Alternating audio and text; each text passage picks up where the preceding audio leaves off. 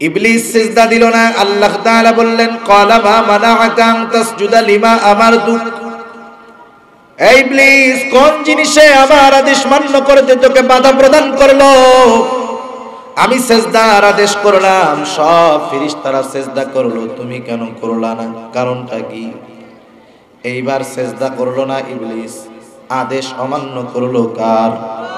জোরে বলেন, কার?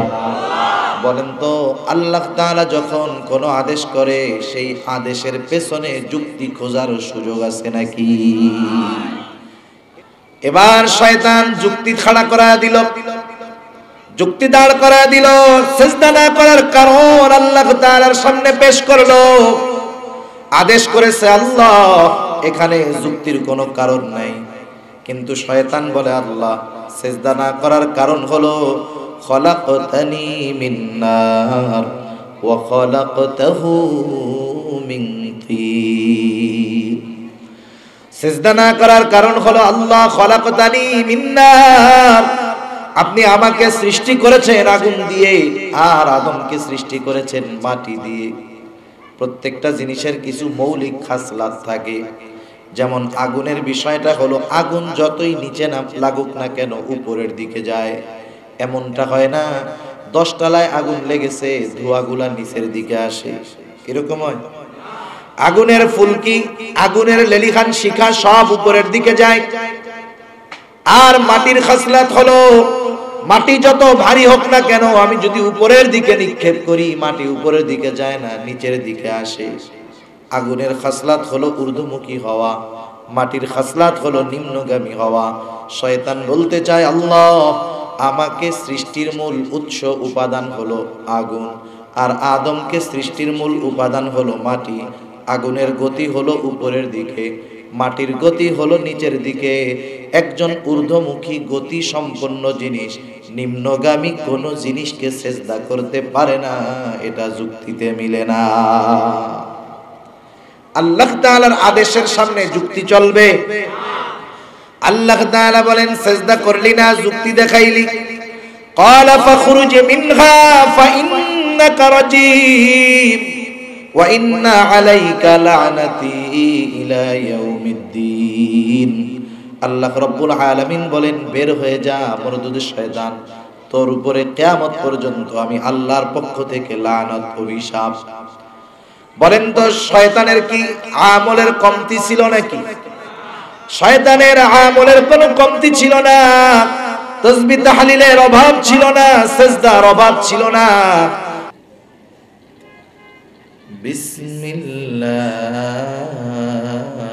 বিসমিল্লাহির রহমানির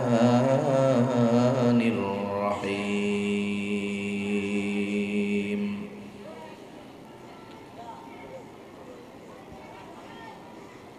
يا الذين آمنوا ادخلوا في السلم كافة.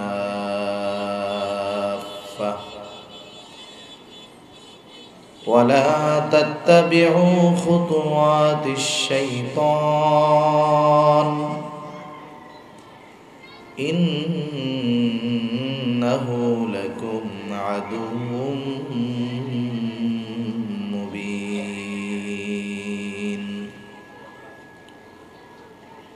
وقال تعالى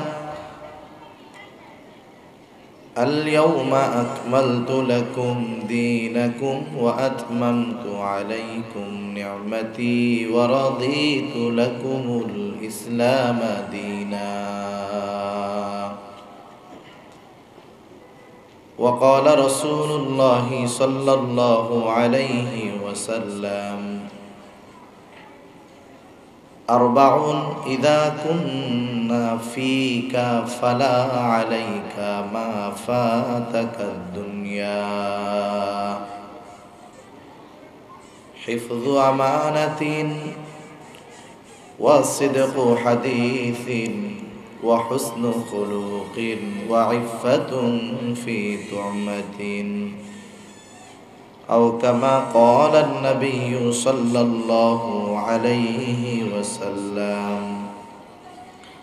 صدق الله العلي العظيم وصدق رسوله النبي الكريم. ونحن على ذلك من الشاهدين والشاكرين. والحمد لله رب العالمين سبحانك لا علم لنا إلا ما علمتنا إنك أنت العليم الحكيم আমরা মোহাব্বতের সাথে জবান খুলে সবাই দুরুদ শরীফ পাঠ করি اللهم صل على محمد وعلى آل محمد. كما صليت على إبراهيم وعلى آل إبراهيم. إنك حميد مجيد. اللهم بارك على محمد وعلى آل محمد. كما باركت على إبراهيم وعلى آل إبراهيم. إنك حميد مجيد. محمد نے آکر کفر کو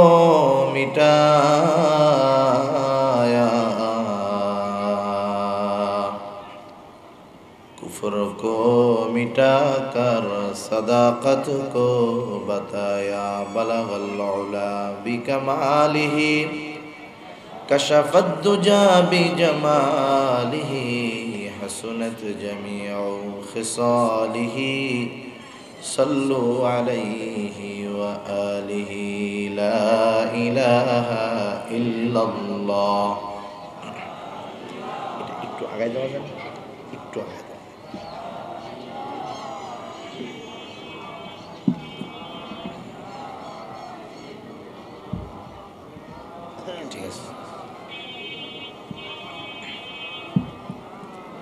إلا الله لا إله إلا الله.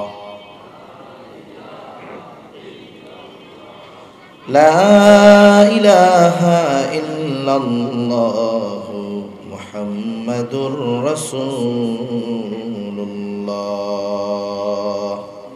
صلى الله عليه وسلم.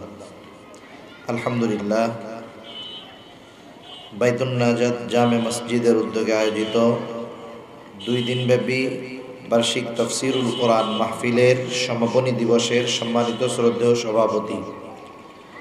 আমন্ত্রিত ওলামায় কেরাম, সামনে উপস্থিত মুরব্বিয়ানে কেরাম, সমবয়সী যুবক বন্ধু, স্নেহের ছোট ভাই এবং পর্দার অন্তরালে অবস্থানরতা সম্মানিতা শ্রদ্ধেয়া মা বোন। দয়াময় আল্লাহ রব্বুল আলমিনের দরবারে অগণিত শুকর যে মহান মালিক আমাদের হায়াতে বরকত দিয়ে সুস্থ রেখে তার মহান হুকুম মাগরিবের নামাজ আদায়ের পরে দুনিয়ার অন্যতম দামি একটি মজলিসে আসার বসার দিনই আলোচনা শ্রবণ এবং আমাকেও আপনাদের খেদমতে কিছু দিনই কথা পেশ করবার সুযোগ যে মহান মালিক দান করেছেন। সেই মালিককে সন্তুষ্ট করার জন্য মহব্বতের সাথে জবান খুলে অন্তর থেকে আমরা একবার কালিমাতুর শকর পাঠ করি, আলহামদুলিল্লাহ। অগণিত দুরুদ সালাম সৈয়দুল আম্বিয়া, আশরফুল আম্বিয়া, খাতামুল আম্বিয়া বিশ্বনবী শেষ নবী, শ্রেষ্ঠ নবী মোহাম্মদুর রসুল্লাহ সাল্লাল্লাহু আলাইহি ওয়াসাল্লামের প্রতি। আল্লাহ তাআলা আমাদেরকে এখানে আসার বসার তৌফিক দিয়েছেন, তাই আমরা আসতে পেরেছি। কি বলেন? আল্লাহ তাআলা যদি তৌফিক না দিতেন, আমরা এখানে আসতেও পারতাম না, বসতেও পারতাম না। আল্লাহ ওয়া তার গোলামদের মধ্যে যাদেরকে ভালোবাসেন, আল্লাহ সুবহানাহু তাদেরকে দ্বীনি কাজ, নেকের কাজ করার তৌফিক আল্লাহ তাআলা দান করেন। কারণ আল্লাহ তাআলার তৌফিক ছাড়া কোনো বান্দা নেকের কাজ করতে পারে না। অনেক সময় খেয়াল করে থাকবেন একজন মানুষ তার বাড়ি, তার ঘর, মসজিদের দেয়ালের সাথে লাগোয়া। শুধু আজানের আওয়াজ নয়, মুয়াজ্জিনের ইকামতের আওয়াজ, ইমাম সাহেবের নামাজের কেরাতের আওয়াজ, তাকবীরের আওয়াজ সব তার ঘরের মধ্যে যায়। কিন্তু আফসোস, মসজিদের এত নিকটবর্তী প্রতিবেশী হওয়ার পরেও এই লোকটার পাঁচ ওয়াক্ত নামাজ তো বহুত দূর, জুমার নামাজেও ঠিকমতো হাজির হতে পারে না, আছে না নাই? আবার কত মানুষ মসজিদ থেকে অনেক দূরে তার বাসা। রোদ নাই, বৃষ্টি নাই জ্বর নাই, শীত নাই। আল্লাহ তালার বান্দা বিনা কারণে কখনো জামাতও ছুটে যায় না। সুহান আছে না এমন মানুষ? তাহলে দেখেন, দিনের কাজ হলেই যে আমি করতে পারব তা না, বরং তৌফিক দরকার কার? সেজন্য আল্লাহ তালার কাছে আমরা বেশি বেশি নেকের কাজ করার তৌফিক চাবো। আর নেকের কাজের বিষয়টা হলো এরকম, নেকের কাজ যত ছোট হোক ছাড়বো না, গোনার কাজ যত ছোট হোক দ্বারের কাছেও যাব না। যদি আমি আমার জীবনের লক্ষ্যটা এমন বানাতে পারি যে আমি যেখানেই নেকের কাজ দেখব, আমার যদি শরিক হওয়ার, উপস্থিত হওয়ার, উপস্থিত থাকার সুযোগ হয়, অল্প সময় হলেও যে কোনোভাবে অর্থ দিয়ে হোক, শ্রম দিয়ে হোক, সময় দিয়ে হোক আমি ন্যূনতম কিছু সময়, ন্যূনতম কিছু সম্পদ এই দিনের কাজের জন্য ব্যয় করব। কারণ বলা যায় না, আমার কোন কাজটা, কোন সময়টা আল্লাহ সুবহানাহু ওয়া তাআলার কাছে কবুল হয়ে যায়। কারণ এই যে আমরা এখানে বসছি, যেই জায়গাটায় আমরা বসছি, কেয়ামতের দিন এই জায়গা আমাদের বসার ব্যাপারে আল্লাহ তাআলার কাছে সাক্ষী দিবে। কারণ জমিনের উপরে সংগঠিত যত খবর আছে, সব জমিন আল্লাহ তাআলার কাছে বলে দিবে। শুধু তাই না, যেই সময় আমরা নেকের কাজগুলা করি, ওই সময় পর্যন্ত বলবে আল্লাহ, আমি রাতের বেলায়, আমি দিনের বেলায় জায়গা বলবে আল্লাহ, আমার উপরে বসে, দাঁড়িয়ে, শুয়ে আপনার এই বান্দা এই নেকের কাজটা করছে। আবার যদি গুনার কাজ করে, ওইটাও অনুরূপভাবে বলে দিবে। সেজন্য আল্লাহ তাআলার কাছে বেশি বেশি নেকের কাজ করার তৌফিক চাব এবং সুযোগ যখনই হবে, দিনই কাজে আমরা অংশগ্রহণ করব ইনশা আল্লাহ আমি আপনাদের খেদমতে পবিত্র কোরআনুল করিম থেকে অল্প কিছু তিলাওয়াত করেছি এবং রসুল আকরম সাল্লাহ আলহি ওয়াসাল্লামের অগণিত হাদিস থেকে একটা হাদিস আপনাদের খেদমতে পাঠ করেছি। আল্লাহ তালার কাছে তৌফিক চাই। অল্প সময়ের মধ্যে আল্লাহ তালা কিছু কথা আপনাদের খেদমতে আমাকে বলার তৌফিক দেন। যে কথাগুলো আমার এবং আপনাদের সকলের দুনিয়া এবং আখেরাতের জন্য কল্যাণ করা হয়, জবান খুলে বলি, আমিন। আল্লাহ সুবাহ তাম দুনিয়ার সব মোমেনদেরকে উদ্দেশ্য করে বলতেছেন, হে মোমেনেরা, তোমরা পরিপূর্ণভাবে ইসলামের মধ্যে দাখিল হয়ে যাও, অন্তর্ভুক্ত হয়ে যাও। পরিপূর্ণভাবে ইসলামের সামনে, দিনের সামনে, শরীয়তের সামনে নিজেদেরকে সঁপে দাও। আল্লাহ তাআলা বলেন, ইয়া আইয়ুহাল্লাযীনা আমানু দুখুলু ফিস সিলমি কাফা আল্লাহ রাব্বুল আলামিন বলেন, হে ঈমানদারেরা, তোমরা পরিপূর্ণভাবে ইসলামের মধ্যে দাখিল হও, প্রবেশ করো। আল্লাহ রাব্বুল আলামিন আদেশ করলেন, ইসলামের মধ্যে পরিপূর্ণ প্রবেশ করো। এমনটা যদি করা হয়, সেটা আল্লাহ তাআলার কাছে গ্রহণযোগ্য নয়। ইসলামের কিছু মানলাম কিছু মানলাম না, এমনটা হবে না। একজন মমিন, সে ইসলামী অনুশাসন পরিপূর্ণভাবে নিজের জীবনের সাথে ফিট করবে। আল্লাহ রাব্বুল আলামিন যেই শরীয়ত দিয়েছেন, যেই জীবন ব্যবস্থা দিয়েছেন, কোরআন দিয়েছেন, কোন মুমিনের কিছু অংশ আমল করবে, কিছু অংশ আমল করবে না, এমনটা হতে পারে না। কারণ তৎকালীন সময়ে যারা আহলে কিতাব ছিল, তাদের বদ অভ্যাস ছিল এটা তারা আল্লাহ প্রদত্ত ওহির কিছু অংশ মানত, কিছু অংশ মানত না। আল্লাহ তারা সেই কথা কোরআনুল করিমের মধ্যে বলেন আফাতু মিনুনা বিবাদিল কিতাবি ওয়া তাকফুরুনা বিবাদ। তোমরা কি কোরআনের কিছু অংশের উপরে, কিতাবের কিছু অংশের উপরে ঈমান আনবার কিছু অংশ অস্বীকার করবা এমনটা হবে না। বরং একজন মুমিন তার গোটা জিন্দেগি পরিপূর্ণ ইসলামের মধ্যে প্রবেশ করাবে। তার ব্যক্তিগত জীবন, তার সামাজিক জীবন, রাজনৈতিক জীবন, কর্মক্ষেত্র পারি পরিবার প্রত্যেকটা জায়গায় সে ইসলামের আলোকে আলোকিত করবে, ইসলামের সাজে সে সাজাবে।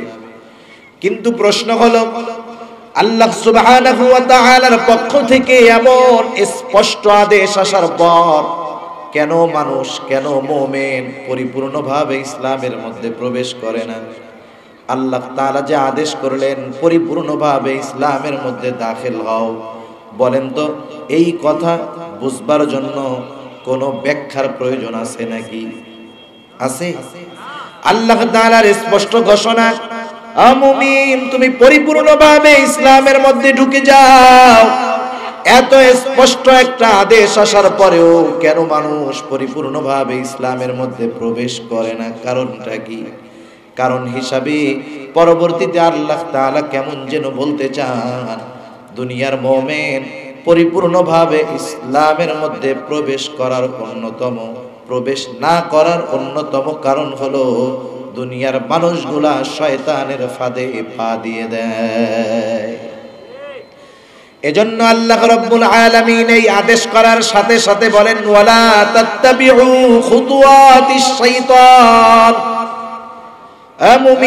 সাবধান। তুমি শয়তানের পদাঙ্ক অনুসরণ করো না, শয়তানের অনুসরণ অনুকরণ করো না রে গোলাম। কেন করবা না, শুনে নাও। ইন্নাহু লাকুম আদুউম মুবিন। কারণ শয়তান হলো তোমাদের স্পষ্ট দুশ্মন। লুকানো করা দুশ্মন এমন নয়, প্রকাশ্য দুশ্মন তোমাদের। তুমি যদি দুশ্মনের অনুসরণ করো, দুশ্মন তোমাকে পথভ্রষ্ট করে জাহান্নামের দিকে নিয়ে যাবে। শয়তান শুধু যে আজকে আমাদের দুশ্মন তা নয়। হজরত আদম সালাম থেকে নিয়ে শুরু করে কেয়ামত পর্যন্ত যত বনি আদম দুনিয়াতে আসবে প্রত্যেকের প্রকাশ্য দুশ্মন হলো শয়তান। শয়তান কেন আমাদের দুশ্মন? কারণ শয়তান আমাদের বাবারও দুশ্মন ছিল, ঠিক না? যখন আল্লাহ রাব্বুল আলামিন হযরত আদম আলাইহিস সালামকে বানাইলেন, লম্বা ইতিহাস, লম্বা ঘটনা। সর্বশেষ আল্লাহ রাব্বুল আলামিন যখন সবাইকে সেজদার আদেশ করল ফেরেশতাদেরকে সেজদার আদেশ করা হলো, ইবলিসও সেই জায়গায় উপস্থিত। আল্লাহ তাআলা আদেশ করলেন, উসজুদু লি আদম, তোমরা আদমকে সেজদা করো। আল্লাহ তাআলা জানায় দেন, সবাই সেজদা করল, ফাসাজাদু ইল্লা ইবলিস। ইবলিস ছাড়া সবাই সেজদা করল। আল্লাহ তাআলার আদেশ আদম আলাইহিস সালামকে সেজদা করল, সেটা দুনিয়ার জগতের সেজদা না। এখন যে বাবাদের দরবারে যেই সেজদা চলে, এই সেজদা দিলে ইমান থাকবে না যাবে? সেটা তো আর জগতের বিষয়। ইবলিস সিজদা দিল না। আল্লাহ তাআলা বললেন ক্বালা মা মানাআকা আন তাসজুদা লিমা আমারতু। এই ইবলিস, কোন জিনিসে আমার আদেশ মান্য করতে তোকে বাধা প্রদান করল? আমি সেজদার আদেশ করলাম, সব ফেরেশতারা সেজদা করল। তুমি কেন করলা না? কারণটা কি? এইবার সেজদা করল না ইবলিস? আদেশ অমান্য করল কার? জোরে বলেন, কার? বলেন তো, আল্লাহ তাআলা যখন কোনো আদেশ করে, সেই আদেশের পেছনে যুক্তি খোঁজার সুযোগ আছে নাকি? এটা একটা আমার গোটা জিন্দগির আমাদের একটা মূলনীতি। মূলনীতিটা কি? যখন আল্লাহ এবং তার রসুলের পক্ষ থেকে কোনো কিছুর আদেশ অথবা নিষেধ আসবে, আল্লাহ এবং তার রসুলের পক্ষ থেকে কোনো কিছুর আদেশ অথবা নিষেধ আসবে প্রকৃত মুমিন এই আদেশ নিষেধ মান্য করতে গিয়ে কশ্চিন কালেও যুক্তি খুঁজবে না। কারণ যেখানে আদেশ, সেখানে যুক্তির কোনো প্রশ্নই আসে না। আমার মূল বিশ্বাস হলো এইটা যে আমি আল্লাহর গোলাম, আমার আল্লাহ আমাকে যেটা করতে বলবে, করব, যেটা নিষেধ করছে, সেটা থেকে বিরত থাকব। আমি যদি এই মূলনীতি গ্রহণ করি আমার গোটা জিন্দগির ক্ষেত্রে দেখবেন, আল্লাহ তাআলার আদেশ নিষেধ মান্য করে জীবন যাপন করা আমার জন্য সহজ হবে। আল্লাহ কবুল করুন। এবার শয়তান যুক্তি খাড়া করা দিল, যুক্তি দাঁড় করা দিল, সেজদা না করার কারণ আল্লাহ তাআলার সামনে পেশ করল। আদেশ করেছে আল্লাহ, এখানে যুক্তির কোনো কারণ নাই। কিন্তু শয়তান বলে, আল্লাহ, সেজদা না করার কারণ হলো মিন নার ওয়া খলাকতাহু মিন সেজদা না করার কারণ হলো আল্লাহ খলাকতানি মিন্নার আপনি আমাকে সৃষ্টি করেছেন আগুন দিয়ে আর আদমকে সৃষ্টি করেছেন মাটি দিয়ে। প্রত্যেকটা জিনিসের কিছু মৌলিক খাসলাত থাকে। যেমন আগুনের বিষয়টা হলো আগুন যতই নিচে না লাগুক না কেন, উপরের দিকে যায়। এমনটা হয় না। দশতলায় আগুন লেগেছে, ধোঁয়াগুলা নিচের দিকে আসে। এরকম হয়। আগুনের ফুলকি, আগুনের লেলিখান শিখা সব উপরের দিকে যায়। আর মাটির খাসলাত হলো, মাটি যত ভারী হোক না কেন, আমি যদি উপরের দিকে নিক্ষেপ করি, মাটি উপরের দিকে যায় না, নিচের দিকে আসে। আগুনের খাসলাত হলো ঊর্ধ্বমুখী হওয়া, মাটির খাসলাত হলো নিম্নগামী হওয়া। শয়তান বলতে চায়, আল্লাহ আমাকে সৃষ্টির মূল উৎস উপাদান হলো আগুন, আর আদমকে সৃষ্টির মূল উপাদান হলো মাটি। আগুনের গতি হলো উপরের দিকে, মাটির গতি হলো নিচের দিকে। একজন ঊর্ধ্বমুখী গতি সম্পন্ন জিনিস, নিম্নগামী কোনো জিনিসকে চেষ্টা করতে পারে না, এটা যুক্তিতে মিলে না। আল্লাহ তাআলার আদেশের সামনে যুক্তি চলবে। আল্লাহ তাআলা বলেন, সেজদা করলি না, যুক্তি দেখাইলি।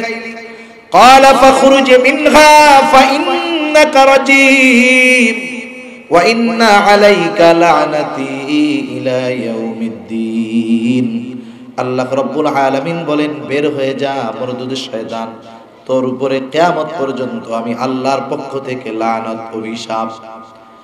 বলেন তো, শয়তানের কি আমলের কমতি ছিল নাকি?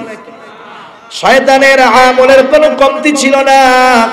তসবি তাহলিলের অভাব ছিল না, সেজদার অভাব ছিল না। আল্লাহ রব্বুল আলামিন কত ইনসাফওয়ালা কত মেহেরবান।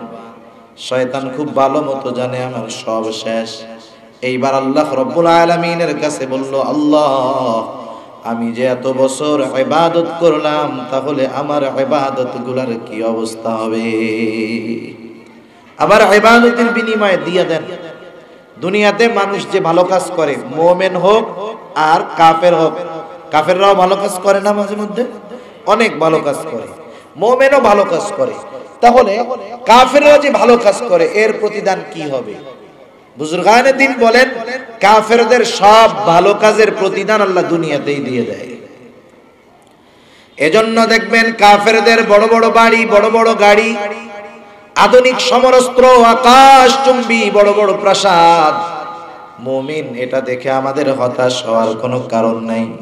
আল্লাহ তাআলা জানায় দেন, যদি মুমিনের ইমান হারা হয়ে যাওয়ার আশঙ্কা না হতো এই বড় বড় ইটের বিল্ডিং এটা নয়, বরং আল্লাহ তাআলা মুমিনের ইমান হওয়ার, হারা হওয়ার আশঙ্কা না হলে ওই কাফেরদের বাড়ির ছাদ এবং সিঁড়িগুলা আল্লাহ স্বর্ণ এবং রূপার বানায়া দিত।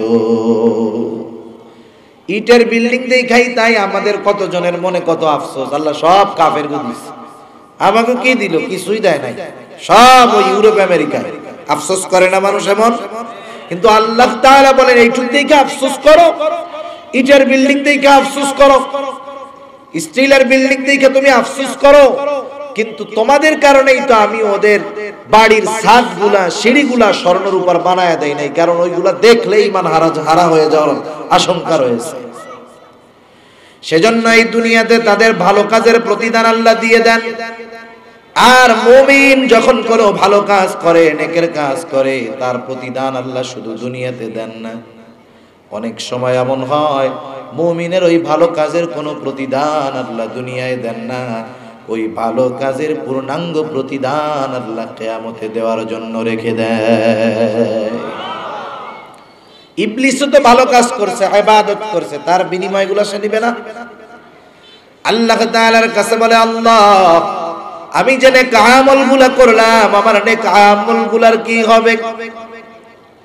এবার ইবলিস আল্লাহ রাব্বুল আলামিনের কাছে তিনটা জিনিস দাবি করল, তারা ইবাদতের বিনিময়।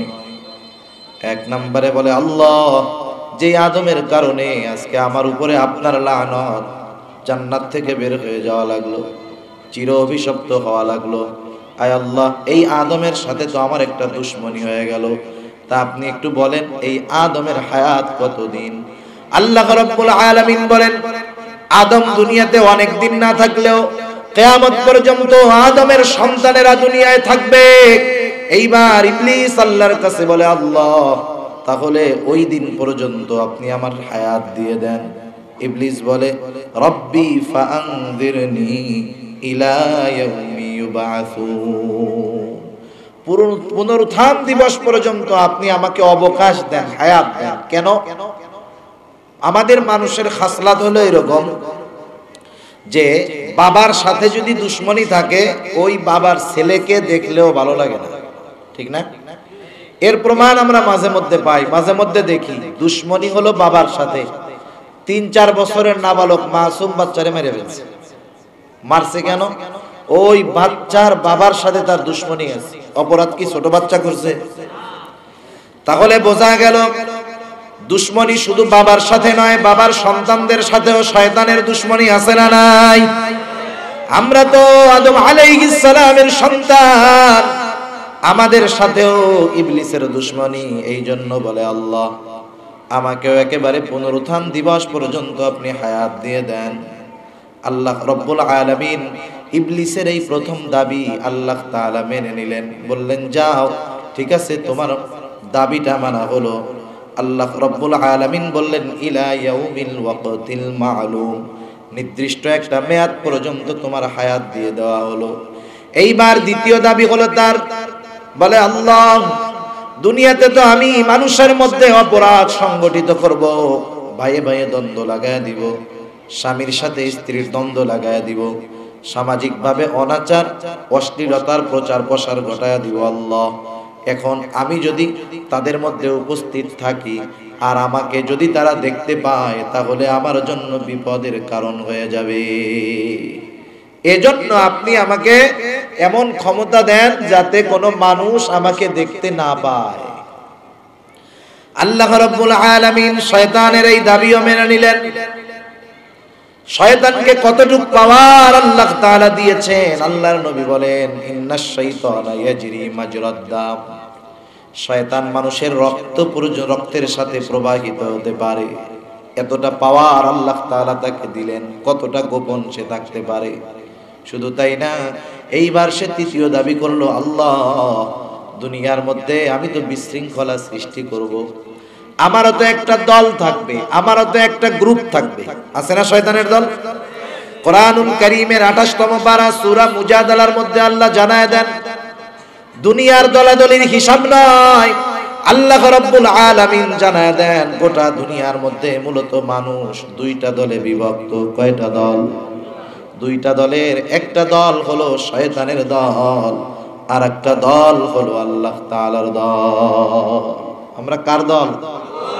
আমাদেরকে আল্লাহ তাআলা তার দলের সৈনিক হিসাবে কবুল করুন এখন শয়তানের দলের লোক কারা? শয়তানের দলে যে শুধু জিন আছে তা না, মানুষ আছে না নাই? সূরা নাসের সর্বশেষ আয়াত, কোরআনুল করিমের সর্বশেষ আয়াত।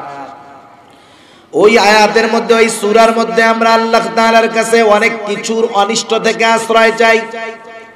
সর্বশেষ বলি আল্লাহ, মিনাল জিন্নাতি ওয়ান নাস। মানুষ এবং জিন শয়তানের অনিষ্ট থেকে আপনার কাছে আশ্রয় যাই তার মানে বোঝা গেল, শয়তান যদিও জিন, তার দলে শুধু জিন না, মানুষ রূপী কিছু শয়তান আছে না না। ওরাও শয়তানের দলের লোক। এখন এই শয়তানের দলের লোক, জিন, মানুষ হোক, যাই হোক, এরা সারা জিন্দেগি কার নাফারমানি করে? জোরে বলেন, কার নাফারমানি করে? যদিও আল্লাহর নাফারমানি করে, বলেন তো রিজিকের মালিককে। এখন শয়তান বলে, আল্লাহ, আমি এবং আমার অনুসারীরা একেবারে গোটা জিন্দেগি আপনার নাফারমানি করব, বিরুদ্ধাচরণ করব। অথচ রিজিকের মালিক আপনি। আপনি যদি গোসা হয়ে আমার এবং আমার অনুসারীদের রিজিকের দরজাটা বন্ধ করে দেন, সব না খায়া মরবে, আমার দলের লোক থাকবে না। আয় আল্লাহ, আপনি আমার এবং আমার অনুসারী যারা কেয়ামত পর্যন্ত তাদের রিজিকের গ্যারান্টি দিয়ে দেন। আল্লাহ তাআলা জানায় দিলেন, যাও, কেয়ামত পর্যন্ত তুই এবং তোর অনুসারী যারা, তারা রিজিকের অভাবে কখনো পতিত হবে না। সম্পদের মালিক হইতে পারবে, খাইতে পারুক আর না পারুক, সম্পদের মালিক তারা হইতে পারবে। এরকম হারাম পন্থায় সম্পদের পাহাড় গড়ায়া এখন বুড়া বয়সে একটা রুটিও খাইতে পারে না। ডাক্তার বলে, সম্পদ আছে, ঠিক আছে। আল্লাহ তো কইছে, সম্পদের অভাব হবে না। কিন্তু খাইতে পারবি কি পারবি না, সেটাই তো মূল বিষয়। সম্পদের পাহাড়, অঢেল সম্পদ। বয়স পঞ্চাশ বছর। পঞ্চাশ বছরে কি বা হইল? আগের মুরব্বীরা তো এখন আশি বছর যার বয়স, সে যে খাইতে পারে, এখন এর যুবক মানুষ ওই রকম খাইতে পারে না। ঠিক না? কয়েকদিন আগে এক জায়গায় মা ফিলে গেছি। হাই মুরব্বী, দাড়ি টাড়ি সব পাইকে গেছে। শীতের মধ্যে একবারে জামা কাপড় খুইলা এমন খাওয়ান খাইতেছে, তিনজনের খাওয়ান একা গায়ে বেড়াইছে। কই হুজুর, আলহামদুলিল্লাহ, পেটে কোনো ট্রাভেল নাই, বুড়া মানুষ। শীতের মধ্যে আমরা কায় কিন্তু উনি পারতেছে তাহলে ওর সম্পদের মালিক। কিন্তু আল্লাহ তাআলা এমন রোগ দিয়ে দিবে, শয়তানের দলের লোক যারা ডাক্তার তাকে প্রেসক্রিপশন করবে, শোনেন ওষুধ টষুধ কিছু লাগবে না। আপনি তিন বেলা খাওয়ান খাবেন, খাবার খাবেন হলো যাও যাও চিনেন নাকি? খাবেন আলা চাউলের যাও, কিন্তু সাবধান, তার মধ্যে লবণ দিবেন না। আপনি যদি আলা চাউলের যাও রান্না করে, ছাগলের সামনে দেন, কুকুরের সামনে দেন, ওটাও সে খাবে না। দেখবি যে লবণ নাই আল্লাহ এটা কি খাওয়া যায় না। খাবেই না অথচ দেখেন সম্পদ আছে কিন্তু আল্লাহ ভোগ করতে দেয় না এমন বানায়া জাহান নামে পৌঁছায়া দিব। এই মিশন কার? জোরে বলেন কার? সেজন্য আল্লাহ তাআলা বলে বান্দা আমার একনিষ্ঠ বান্দা যদি হতে চাও উদখুলু ফিসসিলমি কাফা পরিপূর্ণভাবে ইসলামের মধ্যে দাখিল হয়ে যাও। আর শয়তানের অনুসরণ করো না। হ্যামেলিনের বাঁশিওয়ালার মতো বাঁশির সুর শুনেই পেছনে দৌড় দিও না। মনে রাখো ইন্নাহু লাকুম আদুউম মুবিনিন। শয়তান তোমাদের প্রকাশ্য দুশ্মন। আবার আল্লাহ রাব্বুল আলামিন বললেন, বান্দা, তুমি কেন ইসলামের মধ্যে পরিপূর্ণভাবে প্রবেশ করবা? কারণ ইসলাম হলো এমন এক জীবন ব্যবস্থা ইসলাম শুধু নামাজ, রোজা, হজ জাকাতের নাম নয়। ইসলাম হলো পূর্ণাঙ্গ একটা জীবন দর্শন, জীবন ব্যবস্থা, যার মধ্যে সব কিছু আছে। শুধু তাই না, আল্লাহ রব্বুল আলামিন কোরআনুল কারীমের মধ্যে ইসলাম যে পূর্ণাঙ্গ এক জীবন ব্যবস্থা, এর ঘোষণাও আল্লাহ দিয়ে দিয়েছে। একদিন একজন ইয়াহুদি হযরত ওমর রাদিয়াল্লাহু তাআলা আনহুর কাছে আসছে। আসার পরে বলতেছে, খলিফাতুল মুসলিমিন ওমর আপনারা যে কোরআন তিলাওয়াত করেন, এই কোরআনের মধ্যে এমন একটা আয়াত রয়েছে। ওই আয়াতটা আল্লাহ তাআলা কোরআনুল কারীমে নাজিল করেছে।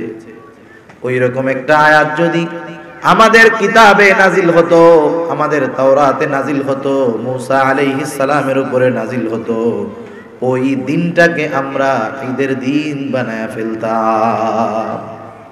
হযরত ওমর রাদিয়াল্লাহু তাআলা আনহু বলতেছে, কোন সে আয়াত যেই আয়াত যদি তোমাদের তাওরাতে নাজিল হতো, মুসা আলাইহিস সালামের উপরে নাজিল হতো, তোমরা ঈদের দিন বানায় ফেলতে, সেটা কোন আয়াত?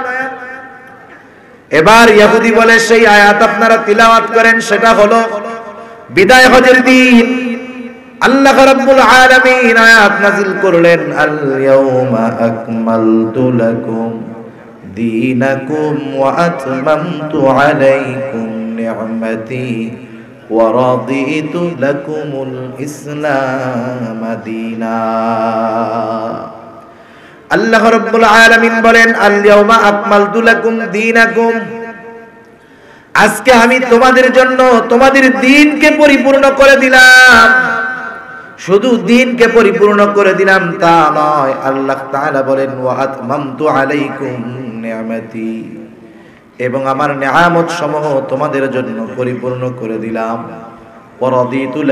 ইসলাম এবং ইসলামকে তোমাদের জন্য দিন হিসাবে মনোনীত করলাম। একটু খেয়াল প্রথম কথা আল্লাহ কি বললেন? আল-ইয়াউমা আকমালতু লাকুম দীনাকুম। আমি তোমাদের জন্য তোমাদের জীবন ব্যবস্থাকে পরিপূর্ণ করে দিলাম। ঠিক না? এর সাথে সাথে আল্লাহ কি বলছেন? এবং আমি আমার নেহামত সমূহ তোমাদের জন্য পরিপূর্ণ করে দিলাম। তার মানে দিনও পরিপূর্ণ নেয়ামত পরিপূর্ণ। এর দ্বারা কি বুঝে আসে? মুফাসসিরিনে কেরাম বলেন এর দ্বারা বুঝে আসে যেই লোকটা পরিপূর্ণ দিনের মধ্যে আসবে, পরিপূর্ণ ইসলামের মধ্যে দাখিল হবে, পরিপূর্ণ দিনের মধ্যে প্রবেশ করবে। আল্লাহ রব্বুল আলামিন তার গোটা জিন্দেগিকে নেয়ামতে পরিণত করে দিবে। আর যে ইসলাম নামক এই জীবন দর্শন, এই দিন, এই জীবন ব্যবস্থা পরিপূর্ণভাবে মেনে চলবে, এই মানুষগুলাই হবে প্রকৃত মানুষ।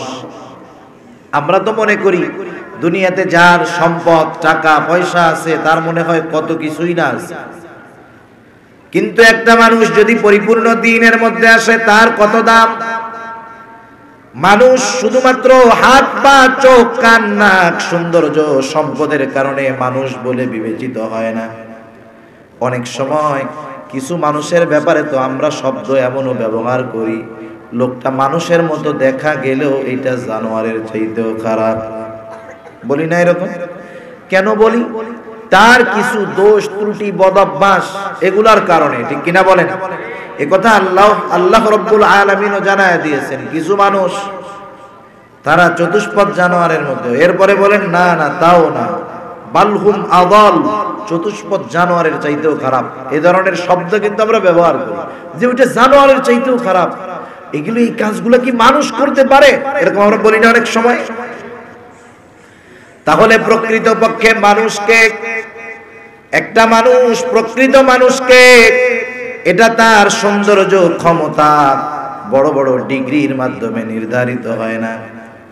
একটা মানুষ যদি ইসলামের গুণগুলা পরিপূর্ণভাবে অর্জন করতে পারে, ইসলামের মধ্যে পরিপূর্ণ প্রবেশ করতে পারে ওই লোকটা কালো হোক দলা হোক, গরিব হোক, সুস্থ হোক, অসুস্থ হোক, আমরা তার ব্যাপারে বলি, লোকটা আসলেই একজন ভালো মানুষ। সেজন্য মনুষ্যত্বের বিচার বিশ্লেষণ করা হয় কিছু গুণের ভিত্তিতে। একটা মানুষ প্রকৃতপক্ষে ভালো মানুষ কিনা, এটা কিছু গুণের উপরে ভিত্তি করে বলা হয়। অনেক গুণাবলী আছে, অত গুণা সব গুণাবলী বলার মতো সময় সুযোগ নাই। আমি আপনাদের খেদমতে শুধুমাত্র চারটি গুণের কথা বলেছি, মুসনাদে আহমদের একটা হাদিস। রসুল আকরম সাল্লাল্লাহু আলাইহি ওয়াসাল্লাম জানায় দেন, যার মধ্যে চারটি গুণ আছে, কিন্তু দুনিয়ায় তার অন্য কিছু নাই। এই চারটি গুণ যার থাকবে, দুনিয়ায় যদি তার অন্য কিছু নাও থাকে, তাতে কিছু আসে যায় না। বুজুর্গানে দিন বলেন এ কথার আলোকে এইটা বোঝা যায় যেই মানুষ এই চারটি গুণ পরিপূর্ণভাবে অর্জন করতে পারবে, সে পরিপূর্ণ ইসলামে অন্তর্ভুক্ত ব্যক্তি বলে বিবেচিত হবে। সুহান এই দুনিয়াতে তার অন্য কোনো সমস্যা হবে না। দুনিয়াতে তার যা কিছু প্রয়োজন, আল্লাহ সুবহানাহু সেটাকে মিটায়া দিবেন। আমাদের মনে রাখতে হবে, একটা শব্দ হলো প্রয়োজন আর একটা হলো প্রয়োজন অতিরিক্ত প্রয়োজনের চাইতে বেশি। আমাদের দুনিয়ার জিন্দেগিতে আমরা যদি প্রয়োজন যতটুক, যখন যতটুকু প্রয়োজন, অতটুকু যদি আমরা পেয়ে যাই, আর তার উপরে যদি আমরা সন্তুষ্ট থাকতে পারি, তাহলে আমাদের দুনিয়ার জেন্দেগিটা খুব আরামের হবে, সুখ এবং স্বাচ্ছন্দ্যের হবে। কিন্তু আমি যদি প্রয়োজনের অতিরিক্ত এই বিষয়টা নিয়ে বেশি চিন্তিত হই, তাহলে দেখা যাবে ওই সম্পদের চিন্তায়, সম্মানের চিন্তায় আমার ঘুম হারাম হবে, আমার শান্তি বিনষ্ট হবে। ঠিক কিনা বলি সেই চারটি গুণ কি নবীজি এক নম্বরে বলেন হিফদু আমানাতিন, আমানাতের হেফাজত করা। দুই নম্বর গুণ, সিদক হাদিসিন সত্য কথা বলা। উত্তম আখলাক, উত্তম চরিত্রের অধিকারী হওয়া। ওয়াইফাতুন ফি খাবারটা হালাল হওয়া। চারটি গুণ থাকলে আর কিছুর দরকার নাই দুনিয়ায়, বিশ্বনবী বলেছেন, এক নাম্বার হিফদু আমানাতিন, আমানাতের হেফাজত। গুরুত্বপূর্ণ একটি বিষয়, আমরা তো আমানত বলতে শুধু এতটুকু মনে করি, একজন আমার কাছে কিছু সম্পদ সংরক্ষিত রাখল। আমি যথা সময়ে তার সম্পদটা ফিরাই দিলাম। এটাই মনে হয় বড় আমানত দ্বারা আমি। কিন্তু আমানত, এটা আমার জিন্দেগির পদে পদে আমার আমানতের বিষয়গুলা রয়েছে। শুধুমাত্র লেনদেন আদান প্রদানের সাথেই আমানতের সম্পর্ক নয়। যেই কয়টা আমার জেহেনে আসে, আমি ওই কয়টা বলব। কোন কোন জায়গায় আমাদের আমানত আছে? আমানত এমন এক জিনিস, নবীজি বলেন লা ইমানা লিমান লা আমানাতা লাহু। যার আমানতদারিতা নাই, তার ইমান নাই। কত গুরুত্বপূর্ণ একটি বিষয়। আমানতদারিতাকে রাসূলুল্লাহ সাল্লাল্লাহু আলাইহি ওয়াসাল্লাম ঈমানের সাথে সম্পৃক্ত করে দিয়েছেন। আবার কত গুরুত্বপূর্ণ একটি বিষয়। যেই মানুষগুলোর মধ্যে আমানতদারিতা নাই, নবীজি জানায় দেন, তার মধ্যে কিন্তু মুনাফিকের ত্রুটি ঢুকে যায়। হাদিসের মধ্যে আসছে, এক হাদিসের মধ্যে আসছে, মুনাফিকের আলামত হলো তিনটা আর এক হাদিসের মধ্যে আসছে চারটা। এই মুনাফিকদের আলামতগুলার মধ্যে অন্যতম একটি আলামত হলো, ইদা তুমিনা খানা। আমানতের খেয়ানত করে। আমানতের কি করে? খেয়ানত এখন আসেন, আমানত কিসের কিসের মধ্যে হয়? এক নাম্বার, আমানত কথার মধ্যে হয় আমানত। কথা আবার আমানত হয় কেমনে? রসুল আকরাম সাল্লাল্লাহু আলাইহি ওয়াসাল্লাম বলেন, ইদা হাদ্দাসার রাজুলু সুম্মা ইলতাফাতা ফাহিয়া আমানাতুন। নবীজি বলেন, তোমার কাছে একজন লোক কিছু কথা বলতেছে, কিন্তু কথাটা বলার আগে ডানে বামে তাকাইলো। তাকায় দেখল আশেপাশে কেউ আছে কিনা। এই ডানে বামে তাকায়া, এদিক ওদিকে তাকায়া যখন তোমার কাছে কথাটা বলল এই ডানে বামে তাকানোর পরে কথাটা বলছে, এই কারণে তার কথাটা সাধারণ কোনো কথা নাই, এই কথাটা তোমার কাছে আমানত হয়ে গেছে। ডানে বামে তাকায় কখন? সিক্রেট কথা, শুধু উনি ছাড়া আর কারও কাছে বলা যাবে না, কিন্তু আমরা কি করি? আমরা যদি কারও গোপন কথা এরকম জানতে পারি, ও যদি আমার কাছে আমানত রাখে, আমি এটারে নেয়ামত মনে করি। নেয়ামত কেন মনে করি? ওরে যদি কোনো সময় ফাঁসানো লাগে, এই গোপন কথাটা আমার অস্ত্র হিসাবে কাজে লাগবে। এই কাজ করি কি করি না? এই কাজ আমরা করি। আবার কি করি জানেন? একজন যদি আমারে বলে, যে হুজুর, এই কথাটা আপনারে বললাম, কেউরে বইলেন না। এই যে ওই লোকটা আমারে বলল না যে কাউরে বইলেন না, ও ওর বড় সর্বনাশটা করল এই কথা বইলা। এই কথা যখন বলবে, যার কাছেই বলুক, শয়তান এবার ওরে দিবে। তুই এই কথা না আরেকজনের কাছে বল। তারপরে যায় কি করে? আরেকজনের কাছে যায়, বলে, দেখ, ও আমারে না এই কথাগুলো বলছে। আমারে কিন্তু কাউকে বলতে মানা করছে। দেখ, আমি তোর কাছে বললাম, তুই কিন্তু কারও কাছে কইস না। বলেন তো, এই কথা আর আটকা থাকবে? সবার কানে কানে একই কথা পৌঁছাবে। আমার কাছে ওই কইছে, খবরদার, তুই কারও কাছে কইস না। তাহলে দেখেন, প্রথম ব্যক্তি একটা ব্যক্তির দোষ ত্রুটি হতে পারে। এইটা প্রকাশ করে দেওয়ার মাধ্যমে, গোপন কথা বলে দেওয়ার মাধ্যমে, তার এই আমানতের খেয়ানতের মাধ্যমে একটা লোক সমাজের মধ্যে হেয় প্রতিপন্ন হতে পারে। ঠিক কিনা বলেন? সেজন্য আমরা যদি কেউ আমাদের কাছে ডানে বামে তাকায়া বলে, অথবা যদি বলে, ভাই, কথাটা আপনার কাছে আমানত, খবরদার, আমি যদি কারও কাছে বলি, কথাটা যদি আমার স্ত্রীর কাছেও বলি, তাহলে এই কথার খেয়ানত হয়ে যাবে। তাহলে আমানত আছে কথাবার্তার মধ্যে, ঠিক না? আমানত আছে, দায়িত্বের মধ্যে আছে আমানত। মনে করেন, আপনি একজন লোকের কাছ থেকে একটা দায়িত্ব প্রাপ্ত হলেন, অবশ্যই দায়িত্ব নেওয়ার আগে কিছু কন্ডিশন আছে। কথা হলো যে আমি দৈনিক আট ঘণ্টা ডিউটি করব। বিনিময়ে সপ্তাহে পাঁচ দিন ডিউটি করব আট ঘণ্টা করে, বিনিময়ে মাস শেষে আমাকে দশ হাজার টাকা দিতে হবে। এই যে দুইজনের মধ্যে যেই চুক্তি হলো, আপনি দৈনিক আট ঘণ্টা সপ্তাহে পাঁচ দিন এই কাজের দায়িত্ব গ্রহণ করলেন। আপনি যদি বিনা কারণে এই কাজের ব্যাপারে অবহেলা করেন, নিঃসন্দেহে এই দায়িত্ব নামক আমানতের খেয়ানত করা হবে। আবার যে ব্যক্তি আপনি দায়িত্ব পালন করার পরে আপনার পরিপূর্ণ মজুরি দেয় না সেও শুধু আপনার হক নষ্টকারী বলে বিবেচিত হবে না, সেও আমানতের খেয়ানতকারী হবে। আবার দেখেন, অফিসিয়াল যে জিনিসপত্রগুলা, অফিসের আসবাব, রাষ্ট্রের আসবাব, এগুলা কিন্তু আমানত।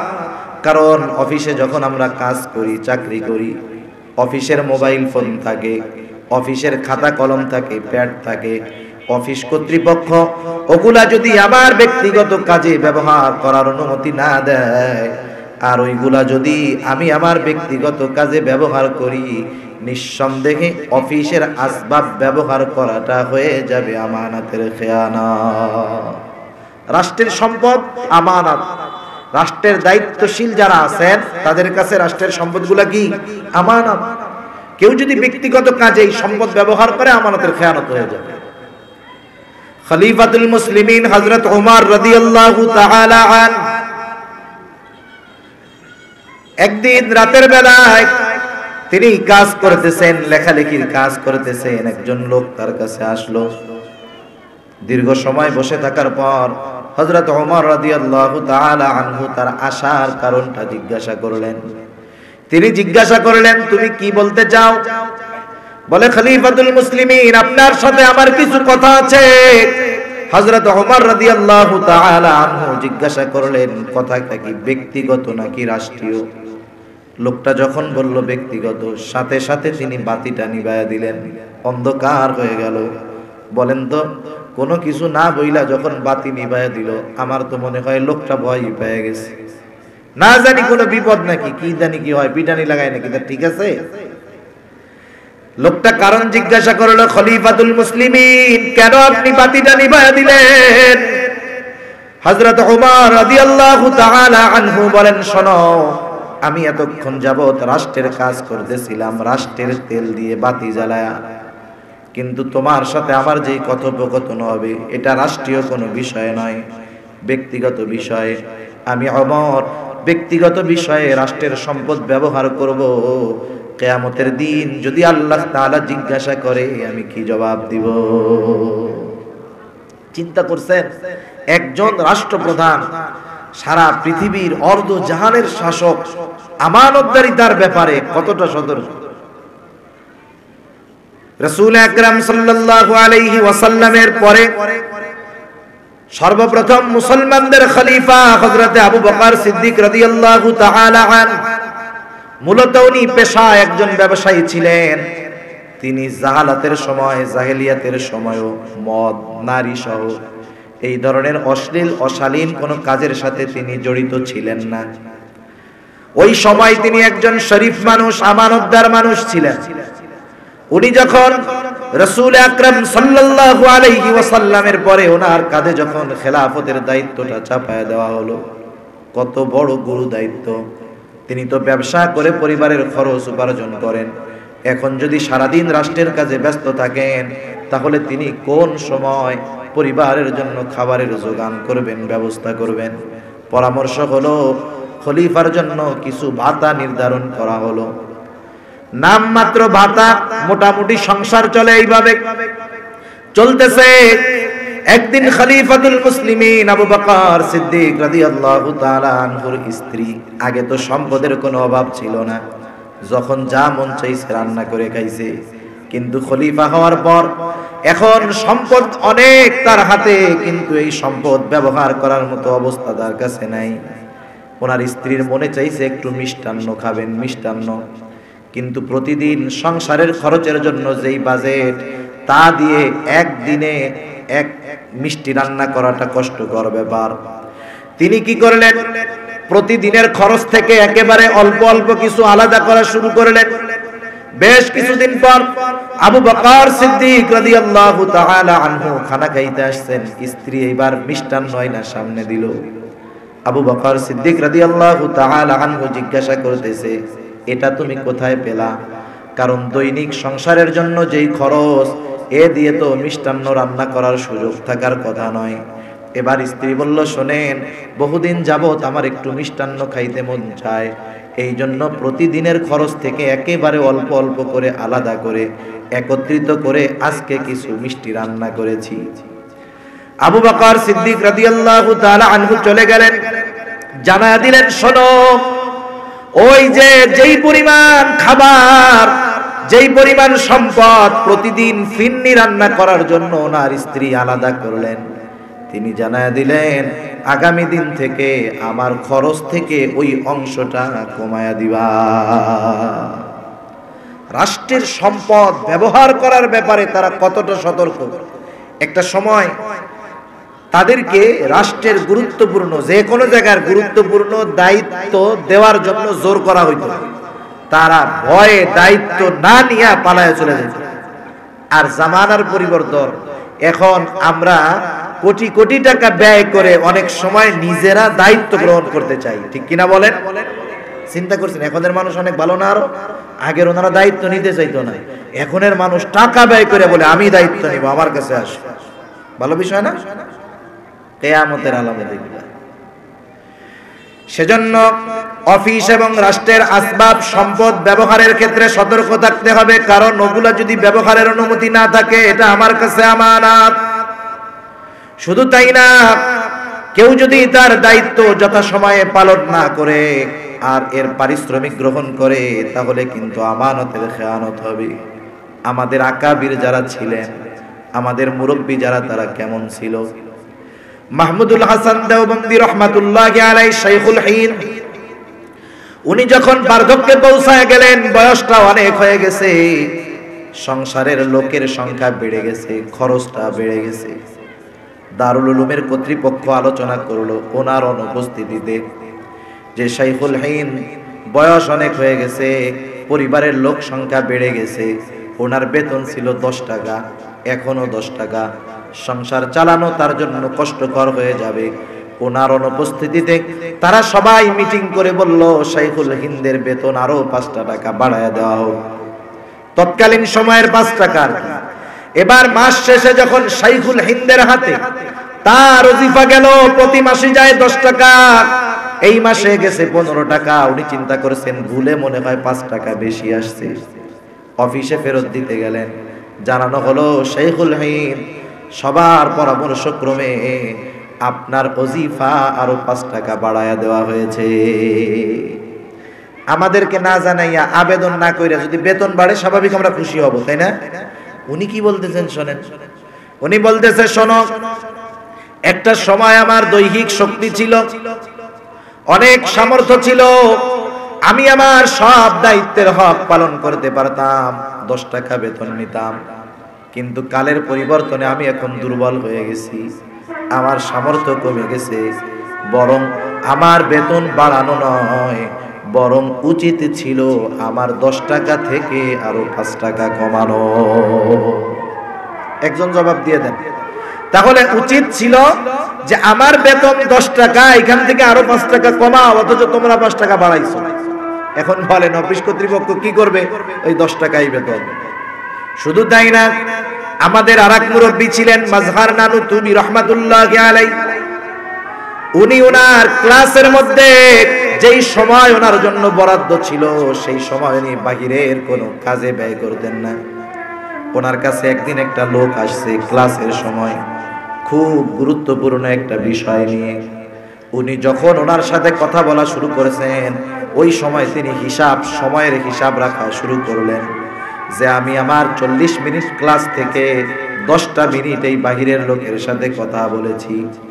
মাস শেষে যখন ওনার হাতে অজিফা দেওয়া হলো, উনি সময়ের হিসাব করে ওই দশ মিনিটের বেতনটা ফিরায় দিলেন। বললেন, কি জন্য হজরত তিনি বললেন, শোনো, এই মাসে যতটা সময় আমার তাদের ব্যাপারে হক ছিল, মাদ্রাসার হক ছিল তার থেকে দশটা মিনিট আমি আমার ব্যক্তিগত কাজে ব্যবহার করেছি। তাই এই দশ মিনিটের অজিফা প্রতিষ্ঠানকে ফেরত দিয়ে দিলাম। কেমন আমানতদারিতা? এটা হাজার বছর আগের কথা না। শত বছরও হয় নাই। এই মানুষগুলা তাদের জেন্দেগিতে আমানতদারিতার ব্যাপারে কতটা সতর্ক থাকছে? আমরা কি করতেছি তাহলে দায়িত্বের ক্ষেত্রে আমানত আছে না নাই? আল্লাহ তাআলা আমাকে আপনাকে সম্পদ দিয়েছে, সন্তান দিয়েছে, এগুলাও আমার, আপনার কাছে আমানত সেজন্য সম্পদ যেখানে খুশি, যেভাবে খুশি ব্যবহার করা যাবে না। কারণ কোরআনুল করিমের মধ্যে আল্লাহ রব্বুল আলামিন বলেন, ইন্নাল্লাহ ফাশতারা মিনাল মুমিনিনা আনফুসাহুম ওয়া আমওয়ালাহুম বিআন্না লাহুমুল জান্নাহ আল্লাহ রব্বুল আলামিন বলেন, নিশ্চয়ই আমি মুমিনের জান এবং মালকে কিনে নিয়েছি জান্নাতের বিনিময়ে। ইস্তারা শব্দটা আল্লাহ ব্যবহার করেছে। ইস্তারা শব্দটা অতীতকালীন একটা শব্দ, তার মানে এমন নয়, মুমিনের জান মালের বিনিময়ে আল্লাহর সাথে জান্নাতের কেচা কেনা বেচা হবে এমন নয়। বরং আল্লাহ তাআলা বললেন, মুমিনের জান এবং মালের বিনিময়ে আল্লাহ রব্বুল আলামিন জান্নাতের বিনিময়ে মুমিনের জান এবং মালকে আল্লাহ কিনে নিয়েছে। তার মানে কেনা বেচা হয়ে গেছে। জানো আমার কাছে, মালও আমার কাছে, কিন্তু কেনা বেচা হয়ে গেছে। যেমন একটা উদাহরণ দিলে বুঝতে সহজ হবে। যেমন মাঝে মধ্যে সকাল বেলায় আপনি সকালবেলায় মর্নিং ওয়ার্কে বের হইছেন। সকালবেলায় হাঁটতে বের হইছেন ফজরের নামাজের পর। স্বাভাবিক যারা শরীর চর্চার জন্য সকালবেলা হাঁটে ফজরের নামাজের পরে, ওই সময় কিন্তু পকেটে টাকা পয়সা থাকে না, ঠিক না? টাকা পয়সা থাকে না। উনি বের হইছেন। পকেটে টাকা নেই। একটু দূরে গিয়ে দেখে ওনার পরিচিত এক লোক একেবারে তরু, তাজা, কচি একটা কদু নিয়ে বসে আছে বেচার জন্য। স্বাভাবিক। কিছু তরকারির উপরে আমাদের একটা আকর্ষণ থাকে। আর তরকারিটা যদি তাজা হয় ওষুধ মুক্ত হয়, তাহলে ওর প্রতি আগ্রহ দশ টাকা বেশি দিয়ে কেনার মতো থাকে। লোকটার কদু দিকে পছন্দ হয়ে গেছে। পকেটে টাকা আছে? টাকা নাই। উনি এবার কদুওয়ালা তো পরিচিত। বলতেছে, বেটা, কয় টাকা দাম তোমার কদুর? বলে, চাচা, পঞ্চাশ টাকা। আচ্ছা আমি তোমার পঞ্চাশ টাকাই দিব, তবে টাকাটা এক ঘণ্টা পরে নিতে হবে। তুমি আসো তো। লোকটা বলল হ্যাঁ চাচা, ঠিক আছে। তাইলে আমি কদু এই যে রাইখা দিলাম, এইটা আপনার জন্য। আপনি এক ঘণ্টার মধ্যে টাকা দিলে হবে, অসুবিধা নেই। এখন বলেন, চাচা তো চলে গেছে আর একদিক কদু কদুওয়ালার কাছে আছে। টাকা চাচার কাছে আছে। কেনা বেচা হয়েছে কি হয় নাই? হয়ে গেছে না? জানমাল কেনা বেচা হয়ে গেছে, আমার আপনার কাছে আছে। কদুওয়ালার কাছে কদু আছে ঠিক, কিন্তু বেচা কেনা হয়ে গেছে। এই কদুওয়ালা বলেন তো, এখন যদি ষাট টাকা পাইয়া কদুটা বিক্রয় করে দেয়, তাহলে নিঃসন্দেহে লোকটা আমানতের খেয়ানতকারী হবে। বেচা কেনা কইরা রাইখা গেছে মানে কি? তোমার হেফাজতে রাখলাম, এটা তোমার কাছে এখন আমানত। অনুরূপ ভাবে এই জানমাল আমার আপনার কাছে আমানত। কিন্তু আল্লাহ তাআলা জানমাল ব্যবহার করার অনুমতি দিয়েছেন, এটা আল্লাহর পক্ষ থেকে বড় একটা নিয়ামত।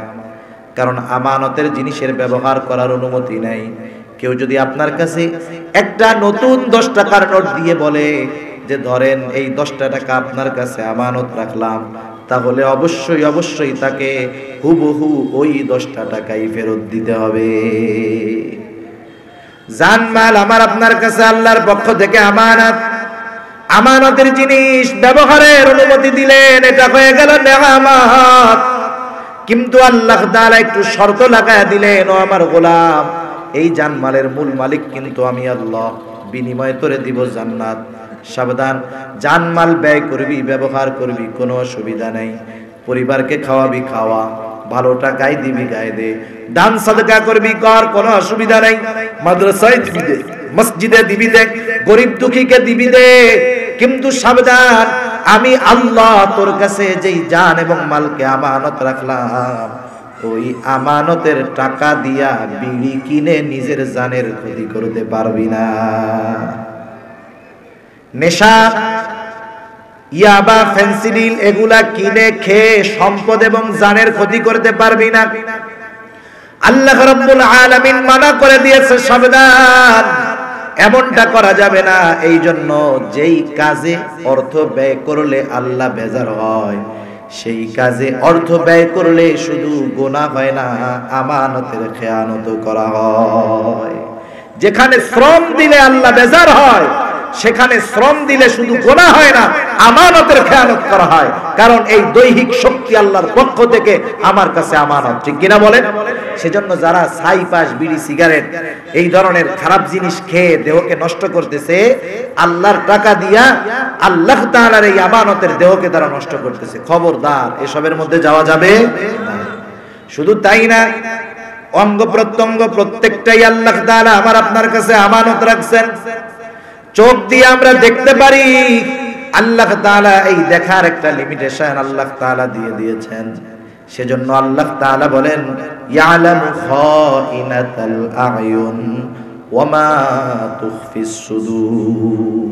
আমরা চোখের কি খেয়ানত করি, সেটা কে জানে? অন্তরের মধ্যে কি লুকায় রাখি, কে জানে?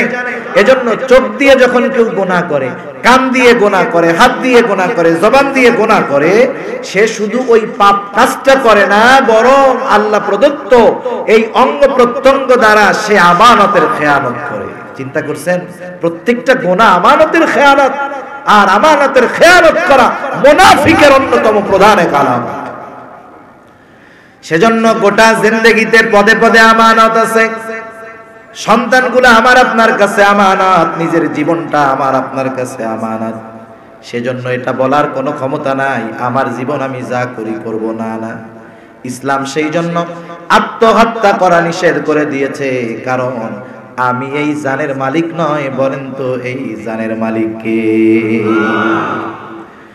এরপরে আসেন প্রথম গুণের কথা, নবীজি বললেন হিফজু আমানাতিন, দুই নাম্বার, সিদকু হাদিতিন, সত্য কথন। সত্য কথা বলা, এটা বড় একটি গুণ। আর মিথ্যা বলা, এটা হলো মুনাফিকের আলামত। নবীজি বলেন, ইদা হাদ্দাসা কাযাবা। মুনাফিক যখন কথা বলে, মিথ্যা কথা বলে, কিন্তু আফসোস, আমরা অনেক সময় ইচ্ছায় নয়, অসতর্কতা বশত সত্যকে ত্যাগ করে মিথ্যা কথা বলি, আমরা টেরও পাই না। আমরা আমাদের নিজেদের আপনজনদের সাথে মিথ্যা কথা বলি। অভ্যাসটা কেমনে?